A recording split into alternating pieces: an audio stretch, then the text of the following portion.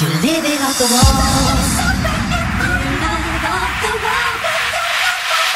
Living on the wall.